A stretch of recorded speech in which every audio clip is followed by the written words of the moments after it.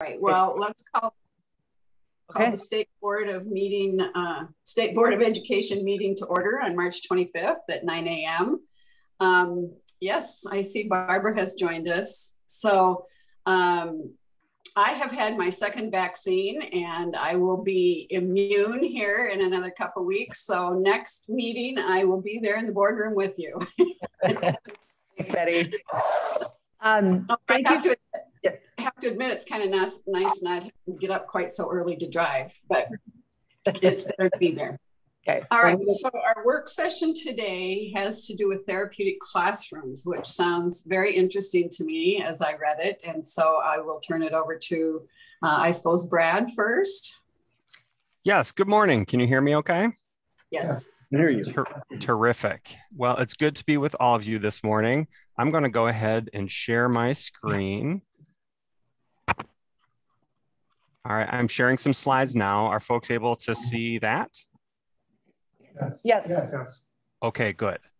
Um, I'm just making sure I can see all of you too on my screen. Okay, um, so uh, uh, between myself and my colleagues who uh, will introduce themselves in a minute, in a minute here, Kathy and, and Barb, um, we really appreciate this opportunity to talk to you about um, some really exciting work that's going on in light of uh, legislation from the last session for mental health. And that is, as uh, Betty, you noted, around therapeutic classrooms. So this uh, originated um, from legislation from the last session, uh, Senate File 2360, that was signed into law by Governor Reynolds uh, back in June of 2020. So it uh, provides a lot of things, a real comprehensive approach to creating safe learning space for students and teachers. We've already put some, out some guidance around that. Um, I'm wondering, Kathy uh, or Barb, could you put a link to our slides and make sure that they are accessible um, in the chat window so you can, uh, so everyone on the board can have those slides. Um, but there's a link on this particular slide that will take you to guidance that we've already issued around Senate File 2360. Um, and there are multiple things in there, but we're going to talk specifically about therapeutic classrooms here today. So, what is uh, a therapeutic classroom? We got this question a lot, uh, especially when the legislation was moving through the process last session. Um, so, part of what is defined is that what is a therapeutic classroom? And I don't necessarily want to read the definition at you, but what I really want to highlight here is that this is uh, a therapeutic classroom is something for providing support to students that have social, emotional, behavioral health needs um, they're interfering with their ability to be successful in school. And we're going to unpack that here a little bit um, because you might be able to say that about a few things, but there's some particulars around therapeutic classrooms that are important to note. But that's the definition that's in the law now. So why are funded therapeutic classrooms important? Really want to leave uh, the beginning of this uh, introduction on these points because we want you to carry these through with you as we are talking through some of the particulars. Um, one of the reasons why therapeutic classrooms that are funded are important um, is that uh, there are some students that just have really intense social, emotional, behavioral health needs that require specialized training that uh, your typical teacher, no matter how much training they have or, or skilled they are, um, don't typically have that specialized training. So having uh, teachers and professionals that focus on students with intense social, emotional, behavioral health needs is really important. And this legislation helps uh, tee some of that up. Um, this legislation also improves access to those types of services. Um, there are students with social, emotional, behavioral health needs that get those met through special education services. Um, but some students aren't necessarily going to qualify for special education, but still have needs like this. Um, an example would be a student that maybe has experienced significant trauma in their life that has uh, carried forward into some mental health concerns um, that wouldn't necessarily um, be flagged for special education, but they still have needs. So this legislation really broadens the net of opportunities that we have to provide services. Um, and by having these types of services in a school, um, it really embeds the service with the kids and in the context that they are in. Um, which the closer that we can get with service delivery to where students are spending their time, uh, the more likelihood we're going to see fidelity of implementation and ultimately positive impact for kids.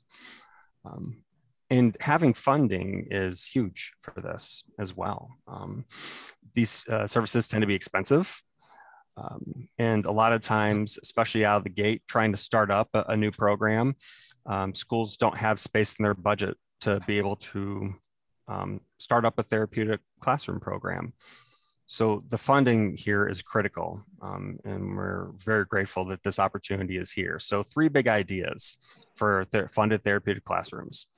They can address really intense needs, it can improve access to services, and it fills a really important funding need those three things uh, are big ideas we want you to, to carry with you here as we go. So we wanted to lay that out before we got into the nuts and bolts. So you had some of the context. What we want to talk about here today is how this aligns, in our view, with uh, your goals as a board. Want to talk about the legislation a little bit. And then there's one specific aspect of that. There's a therapeutic uh, classroom grant that um, we've got going that uh, we want to share some of the work that we're doing to enact this legislation. So briefly, alignment with board goals and priorities. Um, in our opinion, uh, your priority around creating safe, healthy, and welcoming learning environments and the goals that live underneath that um, are a good uh, reference point for this work that we're trying to do as an agency around therapeutic classrooms and this legislation. So in terms of helping drive our work, that's what we point towards is um, these this priority and the goals that you've got within that priority area as a board um, around safe, healthy, and welcoming learning environments. So we wanted to make that connection here at the outset as well. And we know how important the, the goals are to you as a board and and um, we are striving to, to reach those goals. And so this work we think fits really nicely with that priority and, and set of goals. So with that, I believe I am turning things over to uh, Kathy, and she's going to start getting into some of the details around the legislation. Yep. And Brad, you can just go ahead and keep sharing and navigating. That'd be great. Well, it's nice seeing everybody again. I'm an admin consultant for MTSS at the department, and I know I've been here talking about a few other things, and so it's nice seeing you and, and having me back. And, um, and I've been working collaboratively with Barb Anderson and a variety of other persons as we have been um, implementing this legislation. And so there are, are two pieces within the legislation that, um, that are key for therapeutic classrooms. So you can go ahead, Brad. Uh, those two pieces um, within this are there is a the the legislation requires us to develop a therapeutic classroom incentive grant, and this grant is um, almost 1.6 million dollars uh, that appropriated to support public school districts in um, developing this new their a new therapeutic classroom or taking a program that they already have and adding the therapeutic components uh, so that it can become a therapeutic classroom. And so when Brad talked about the resources needed to develop a program and and um, and really like train teachers up and um, and engage their their district and and community in understanding what therapeutic even means. Um, these would be some of the resources that helped to do that. Um, it is an upfront grant, meaning that um, districts are applying about right now, and the applications are due in April. And then um, they would have the funds starting in the fall. Those that those that have that um, meet the competitive requirements, and then they can use those dollars uh, next year to really build their therapeutic supports and components, um, including things like training teachers, uh, collaborating with mental health uh, professionals to make sure they have evidence-based practices in place, um, and, and, or expanding on supports they already have in the district uh, to to meet their student needs. And so uh, they're one-time upfront costs uh, to get their programs started. The second piece within this legislation is a classroom claims uh, piece. So one one question districts have, well, how can we sustain these efforts, right?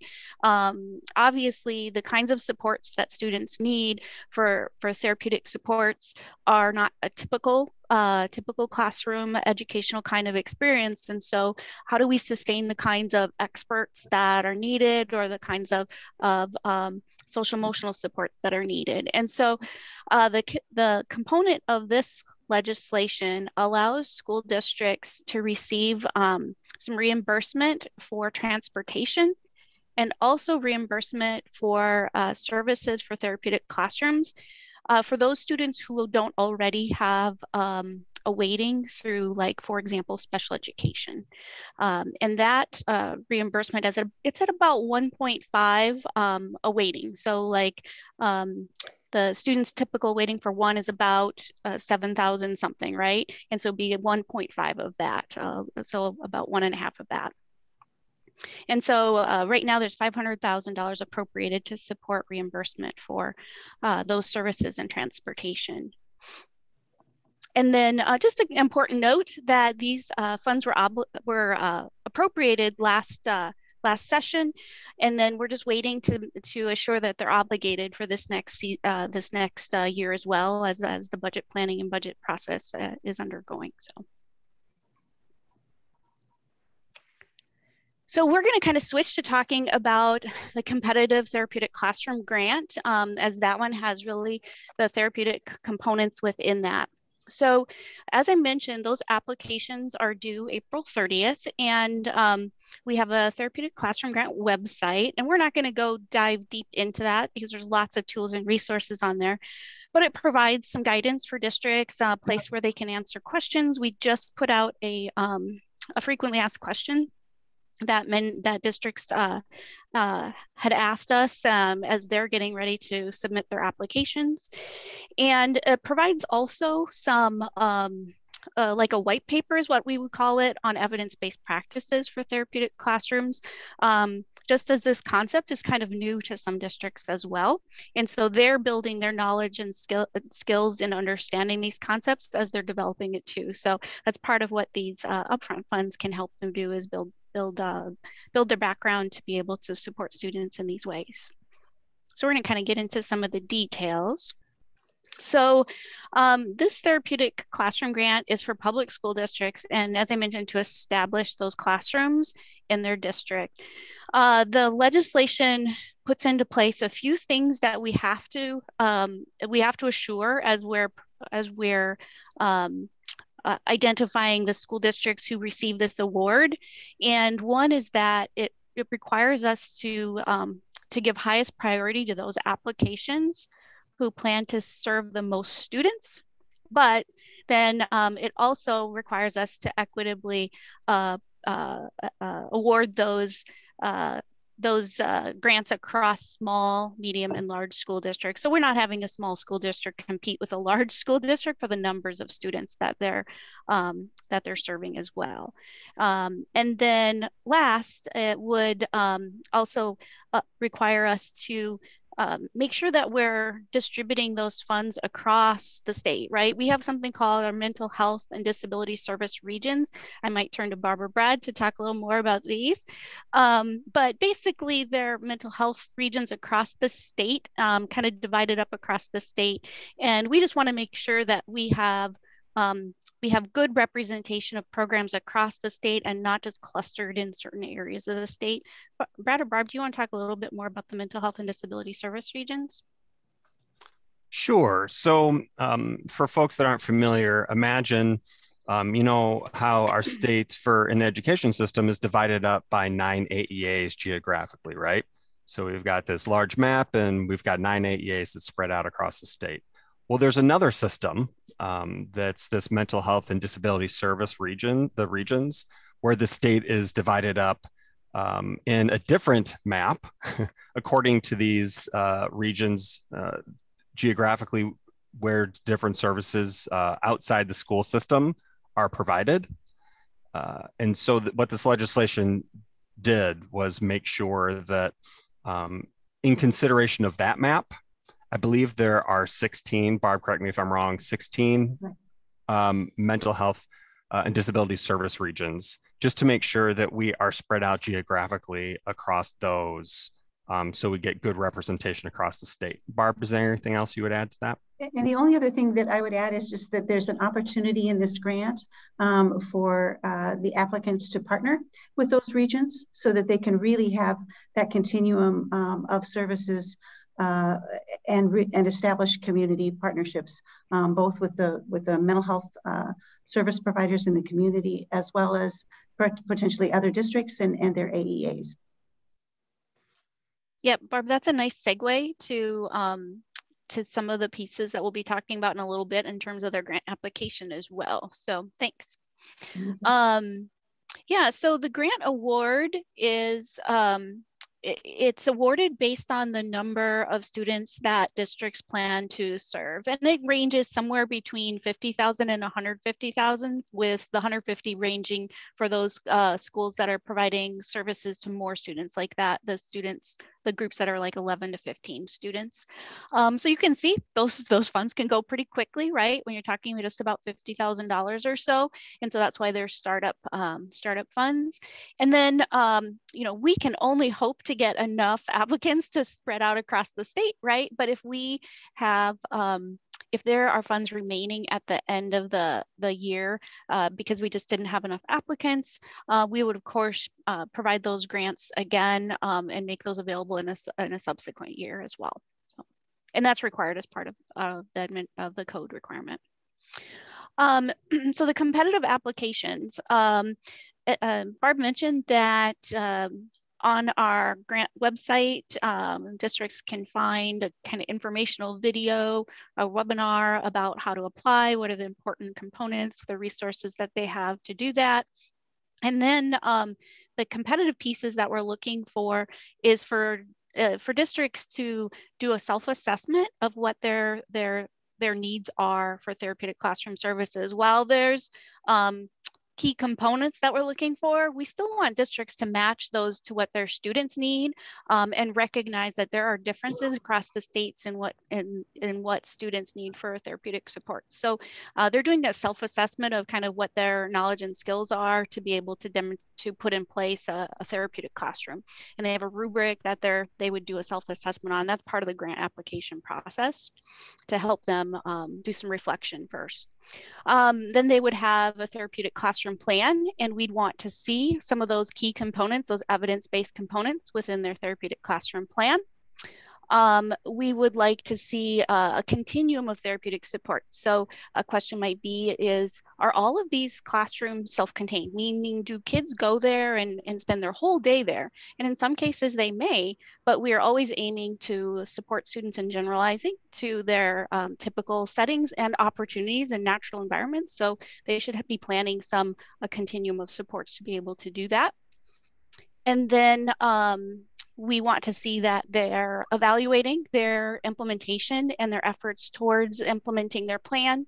And then as Barb mentioned, that they have an option to collaborate with um, a, the AEAs, with uh, the mental health service regions, with community partners. Um, and so those collaborations give them some bonus in their application process. Not a requirement, but encouraged through, um, through that application process as well.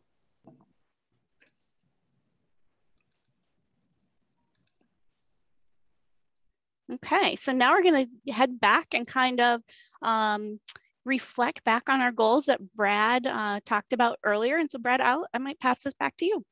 Sure. Um, so we've uh, we've actually got other information about all this. We didn't know for sure how uh, deeply you wanted to get into to some of this, so we wanted to have a, a bit of a bookend here to say, um, you know, again, we um, think this work fits nicely uh, within the board's goal around creating safe, healthy, and welcoming learning environments, uh, that priority area and the goals that live within it. Um, but what we wanted to do now, in addition to sort of bookending that, is just open up for questions. Um, we can take you uh, into some concepts that often come up in this work. Um, we can take it to the website if need be, or we can just have a discussion about what we've shared so far. So I guess we turn it back to you, uh, uh, Betty and, and the board to see if there are, and just to start some questions that we can address. Good question, Brad. Um, yeah. Are there some success successes stories that you can share with us and how this is implemented in other school school systems? Sure. Um, so I, will start, but I think Barb or, or, Kathy, if you want to jump in on this too. Um, we know that um, Green Hills AEA, for example, uh, partners on I think three different therapeutic classrooms um, with different districts. Um, the one that comes to mind for me is Winterset, because I believe they've got a therapeutic classroom there. And I think um, based on my conversations uh, with folks in, in Winterset and in the AEA, I think um, they would all say that there's value added for the students, most of the students they've tried to serve, but they're also, eh, most of our therapeutic classrooms are in their infancy. That's one of the reasons why we, this legislation came to be is there's a recognition that there's a gap in service out there. Uh, and so this is a structure and incentive to increase something uh, or access to services, therapeutic classrooms that we know can be really effective. So most of our programs are in their infancy. And so I think they'd say they've been able to both help a lot of students, but also they're learning a lot about how to uh, create sustainable funding and staffing and how to collaborate back with the the like the the rest of the school context so they don't become isolated self-contained programs by default because that that is something that um, is a, a, potential barrier right is that they become that for students that don't need that service um, to that level of intensity barb is there anything else that you'd add um, thank you. I think you summed it up. The only thing that I would add to that is, is that this legislation has really offered an opportunity to have some shared understanding of what are the best practices around therapeutic classrooms. So we know that there are some good things happening out there, um, but, but one program may not look like the other. And so what are the essential elements that we know um, we want to have in place uh, to help uh, students be successful? We, we're just forming the data currently. Yeah, absolutely. Yeah. I would add though that, like as Barb mentioned, the components you have in the classroom are the most important parts, right? And so one of the things we've provided is called the evidence-based evidence-based therapeutic supports and it outlines the most evidence-based components right? So when we think about what those are cognitive behavioral um, strategies so those are strategies students use in thinking and planning about how they're going to solve problems that that they run into and it's a it's a treatment approach. And then um, and so that's that's one example but um, within that white paper there's a few more examples uh, that have an effect on um, student outcomes. And so we really want to see um, schools gravitate to those evidence-based practices um, within their programs. And, and, so as Barb mentioned, it's the pieces you have in your program that make it effective, not just having a program. So yeah. So so yeah, Kim, I, to your point, we are just really establishing baseline um, with what's already out there. And by having this, um, we're going to have a lot clearer picture about what's out there and um, what the services look like. I wouldn't call this uh, a law around monitoring. This law is really around funding and, and getting some more programs up and running. But this gives us a lot more points of engagement to learn more about what's out there so we can hopefully grow the work over time and support the programs that come up as a result of this funding. You know, any, oh, sorry, go ahead. I've asked two questions already. Go ahead, Kim. I'm sorry. Go, Kim. I'll, I'll, I can. Go ahead. Nationally, um, it's a same, similar question. Nationally, do you know if there's some lo longevity in the nation with such therapeutic classrooms? You know, we did a lot of research as we were developing the therapeutic classrooms. And to be honest, I think like our state, there are um, places of excellence, um, but not any it was very difficult to find uh, information. Um, so I think that this is pretty groundbreaking work, mm-hmm. uh, and we're excited to be a part of it. Yeah, I, yeah. And how do we support students who may have mental health issues, um, and really align that with um, the the environments to help them to be able to learn uh, and be successful. Yeah. I think the the appealing one of the appealing parts here and what Barb and Kathy have talked about is we know the types of practices that are effective to help these students, but that doesn't mean there are policies and funding in place and staffing and infrastructure for them to happen. So we see these pockets of excellence um, that deliver services that we know are evidence-based, but without some of the funding and policy structures in place, we just don't see a lot of them come up. And so I don't know, as Barb's to Barb's point, I don't know that um, Iowa's unique in that we don't have a lot of them up yet, but we do feel confident in the practices that are effective. And, and we're going to continue to um, keep our eye on what's happening around the country because that's going to inform our continued support for these programs. I don't think there's any doubt that uh, the state resources are lacking in the area of mental health for kids. I just think that's that's that's an uphill battle for us. It seems we just don't have enough uh, people who are qualified to help deal right. with children who have mental health needs. And we have more and more of those, not only because of COVID, but just because of the society that we live in. Mm-hmm. But uh, so a couple of questions. Uh, first of all, would the curriculum be the same and the delivery different? Is, is that what we're talking about? I mean, would these kids be learning um, the same curriculum? Yeah, there's two pieces. One, they have to receive the same um, the same access to the core content standards that all kids have access to. And so when we talk about science standards and math standards and literacy standards, yes, they need to have that, have access to those. Um, yes, it will most likely will be in a different way, right? Based on what the what those students need. And and they should also be receiving additional instruction in social emotional competencies in learning how to really engage in those um, uh, social emotional uh, problem solving and decision making when it comes to things that are stressful and, um, and, and complex, right? So that would be a piece that isn't required right now within our um, our administrative code is social emotional uh, uh, learning, but uh, we're hoping to expand that as we as we uh, engage in some rules writing and things like that as well. So, um, but yeah, they would have access to the same standards that all students. Yeah, my follow-up question would be the qualifications of teachers to use these methods in the classroom. I mean, is something that we can teach uh, to our staff now? Uh, are special qualifications going to be necessary for teachers to uh, to be able to do this and deliver this effectively? Yeah, some of the supports are things that are already in place in some schools for some students. Like as you mentioned, though, just not enough teachers have them under their belt. And so expanding the use of like um, using effective assessment practices and effect and and behavior intervention planning strategies. Those are things schools do but they might only have a few teachers who are really skilled at doing that and a few persons from the area education agency who help them. But then uh, the other pieces that uh, social emotional instruction um, that would be a, a, piece that they could uh, expand through this grant. And then also the mental health supports they could expand as well it just seems to me that we need some connection in the community with folks that yep. can can help us uh, with these children. And uh, again, I'm I'm curious as to uh, the availability of those resources in each of the regions that you're talking about now. I would, uh, after maybe if you maybe want to comment on that for me, but uh, finally, if you could send Brad a, a, a, map with the regions that you're talking about.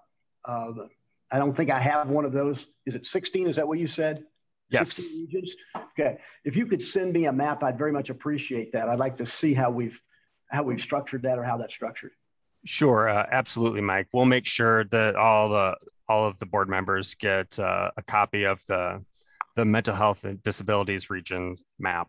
That's that's no problem at all. And I think we would uh, all agree that the connections with community-based services, um, wraparound services, uh, therapeutic classrooms can be a component of all of that. And therapeutic classrooms is an important piece. It's not going to do everything for for all of these kids that need the services because a lot of times these these kids have needs 24 7 right um, that need particular attention in some way shape or form and therapeutic classrooms are an important part of that but you're absolutely right those additional community-based connections and services, family supports are all part of a, a comprehensive approach to supporting uh, mental health needs.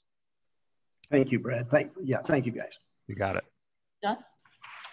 I have a, a series of questions. Um, is there a identification process or a recommended identification to uh, know who these students are who need the type of help that we're recommending in this uh, therapeutic classroom. Sure. So I'll see if Kathy or Barb, do either of you want to field the, the question? How do how do schools know which kids need the services? So that would be a process that they develop as part of their district plan, right? So um, you can't have a program if you can't identify like what the services are and who gets it. And so that's one of the support pieces or like the program planning pieces that they need to engage in. It's hard for us to say, oh, it has to be these kids, right? Because our districts are different and our student needs are different. Um, and so um, right now, and we'll see how that works through the grant, right? That could change over time, but right now we're letting that, um, we're putting some pieces in place to support districts in making those decisions um, as they're developing their program. Mm -hmm. So while they have common components of best practice, it's really differentiated and really tailored to the needs of that particular uh, school district or that particular region. Okay. Would we have any idea how many students statewide need this type of service or when, when would we know that? Yeah, so that is a, a really good question. And one of the department's um, requirements from that same um, Senate File 2360 um, is that we actually start collecting some of that data um, so that we're collecting uh, uh, referrals to therapeutic classrooms as well as actual transfers to therapeutic classrooms because I don't think we have a good idea of um, beyond our students with uh, disabilities and with IEPs we don't have we don't really have a good idea about uh, how many other students beyond that need those supports and I think um, getting that information for referrals right who, who do not result in um, a transfer to a therapeutic classroom can really help us start identifying that and that'll be a report that we're required to put together uh, somewhere somewhere between June and July, I believe. So, um, but it'll be uh, closer to the end of end of the year. So. I think there was a, a mention of a parent or guardian component uh, that could be included or maybe should be included in this type of program if the student is identified. Uh, can you expand on that a little bit this time, or is it still kind of a, a piece of clay that the department's molding? Yeah, they're um, districts who apply for the grant are required to engage with families on a couple different um, situations. One, if the student has an IEP, they would be required to engage with families um, for any of the reasons that they do for educational planning with the IEP. So if it impacts the IEP, they would have to engage with the IEP team, which includes the families in making those decisions. Um, if it is a student without an IEP, um, because this may be a fairly restrictive program, there are, we wrote in requirements as well that they would need to engage with families on a, on a kind of every 60 day basis to make decisions about how those supports are working, whether they need to become more or less intensive. Um, and, and, and, so that's a, that's an assurance that districts who apply for the grant would, uh, would have to engage in, so. Just one more question and I'll let somebody else ask the question. Um, there's a lot of money coming into the, the state through ESSA funding. Uh, would ESSA funding be appropriate use um, to, to, do therapeutic classrooms if a local school district chose to do so? So I'll I'll start on that, but would certainly welcome uh, Amy Williamson's on or, or Director Lebo. I mm-hmm. think uh, if you're referring to the the stimulus, the ESSER funds, uh, and as a result of the pandemic, my understanding would be that there's a lot of flexibility with the use of those dollars, including supporting mental health needs in schools. And uh, so there there probably is some discretion there for for districts to to use some of those dollars to support things like therapeutic classrooms um, that was not contemplated when this uh, legislation started. But say, uh, Amy or Director Lebo, would you uh, have anything else to add related to the use of ESSER funds and mental health? Yeah, and it's actually a little bit more complicated than that because of um, the requirement with the funds to address um, it, it can't be used for things that were sort of already in place and intended right. to be done. But at the same time, it can specifically address um, issues around social emotional health and needs. So you know, a straight up answer saying, can you use your relief dollars for therapeutic classrooms? No, but can you use it for the services that are needed as part of that? Yes. And so what we're going to be doing, am I saying that right? Um, we're putting, and I was going to talk about this a little bit later, is we're putting out some guidance on how those dollars can be used. We can't tell districts how to use it, but we can give them scenarios of how you can use it appropriately. So it's kind of a yes for those, even what you talked about, Mike, with those connections with community um, supports, because that is absolutely something we've identified as being a need. So it would go together in that way. Thank you. Mm -hmm. Um, so I know that this process is going to be really interesting to see how districts start to implement their plans how do you plan to support the student engagement in this process? I know that at my school, I mean, sometimes it seems as if like these students who need these supports may not be able to partake in the process of implementing them, but I actually led some diversity, equity, and inclusion roundtables with these types of students at my school.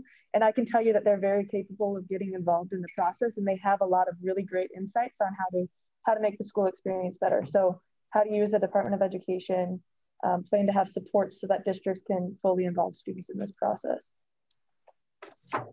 Sure, I'll go ahead and start, but uh, Kathy and Barb, please weigh in here. Um, so a little bit of context, and it's a great question. Um, that there isn't anything in the, the Senate file that I'm aware of that would require what you're talking about, but that doesn't mean we shouldn't do it. That's just part of the context that, that we need to take into account. Um, so uh, I think in my mind, and again, Barb and, and Kathy jump in on this, it's um, uh, as we engage both proactively and as it's going, I think it's going to be important for districts and schools to not only um, hear from students about what types of things would help them as they're working towards their positive mental health, um, but to understand for the individual students that are in these programs, how's it going for them? And so we'd want there to be voice uh, because it is in part for them. So we want to hear how that is going.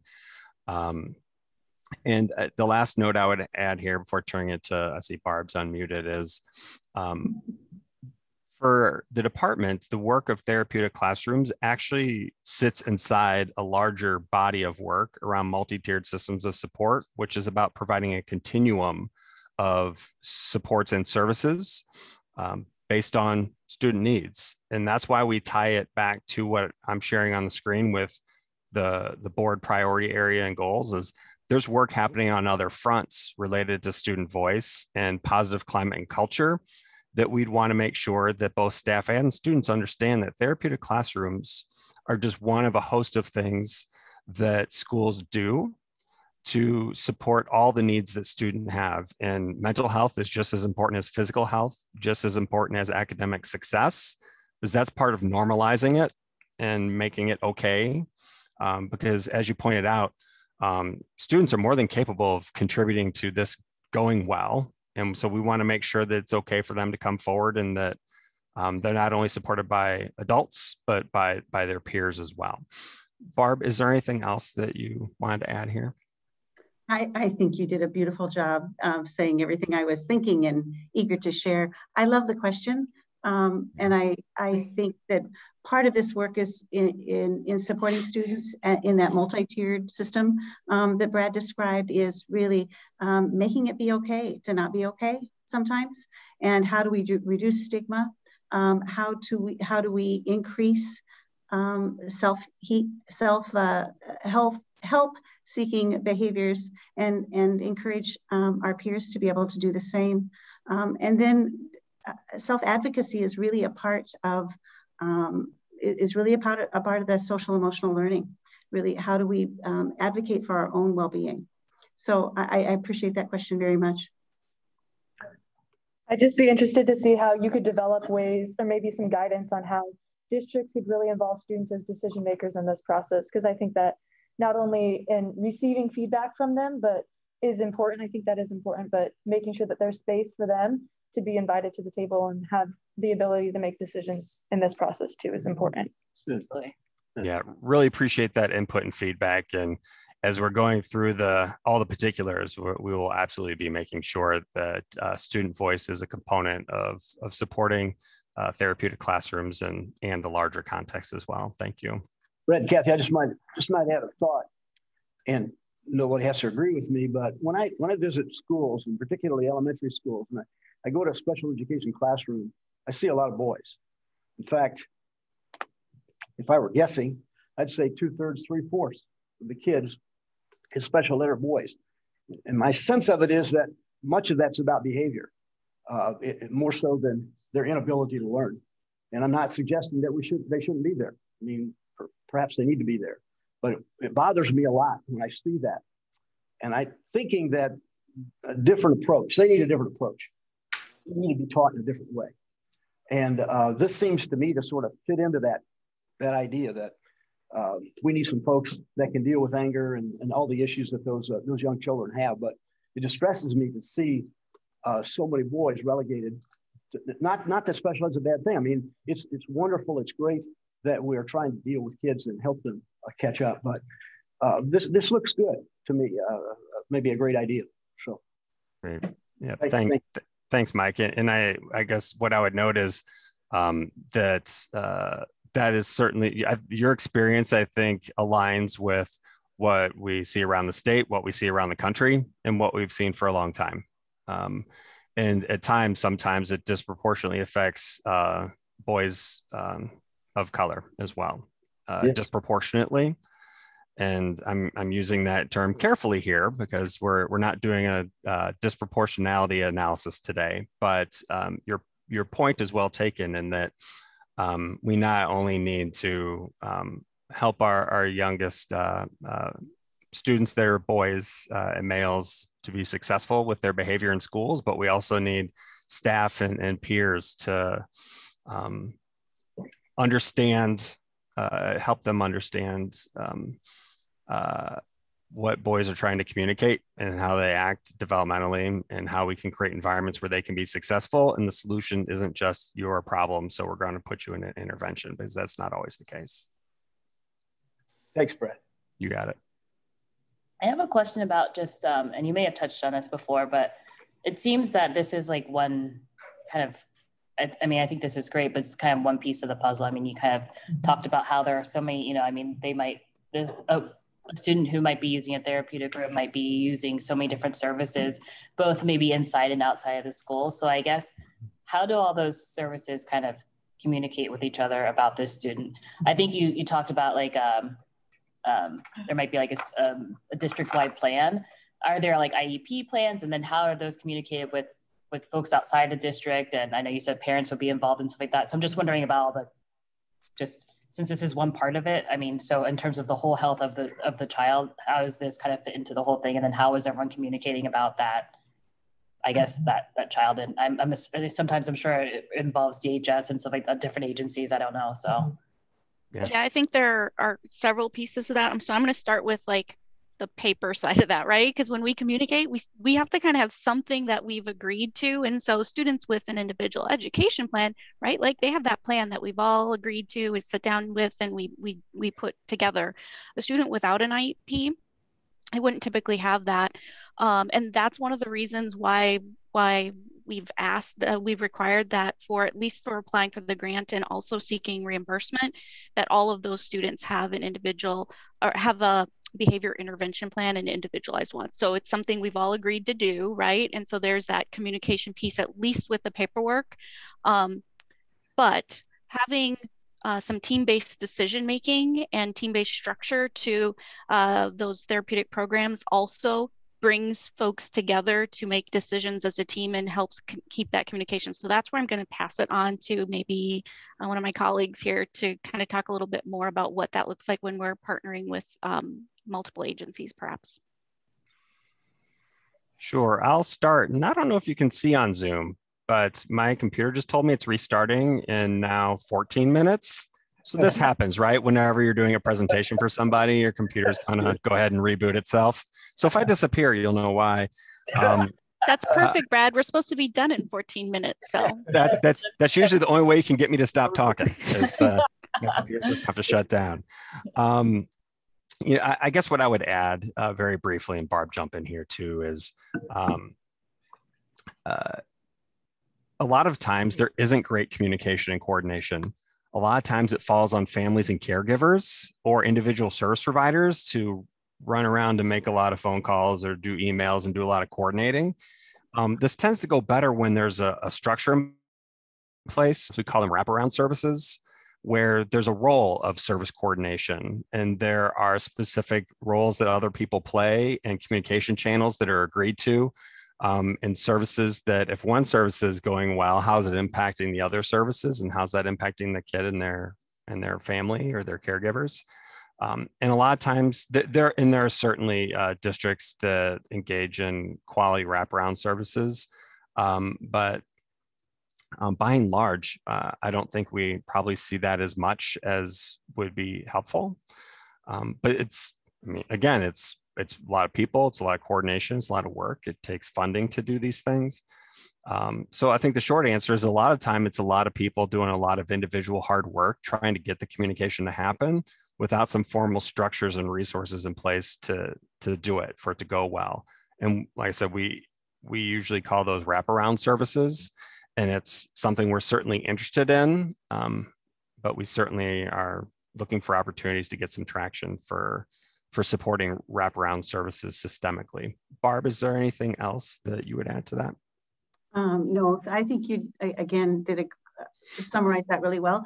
I would add that not only do we want there to be um, teams and partnerships um, at the at the intensive level, at that tier uh, three wraparound level, but also how do we partner with families um, and uh, uh, and and students and all learners um, in, in, the preventative and health promotion places as well. Um, so that, that we are um, inviting um, folks with lived experience to help inform um, our best practice. Thank you. Well, thank you, Brad and Kathy and Barb. Um, I appreciate you guys making time today. And I know this is an important topic and it was an ask early on. Um, we are even kind of right on time, a little bit ahead. So unless there's any other questions, um, Betty, if you want to adjourn us for, we're going to take a break and then come back at 10. We'll be ready to start at 10 o'clock for the regular meeting. Then we'll turn back over to, to Brooke when we start at 10. Yeah. Thank you guys. Thanks. Thanks, thanks everybody. Really appreciate it. That was really informative. Um, Brooke, are you there now? She's here. Yep. I'm here. Oh, you can't see me? Sorry. Oh. Okay. I'll turn it over to you. Okay, perfect and you can adjourn it. Oh, okay. then I'll go ahead and adjourn this session. And we'll come back at 10.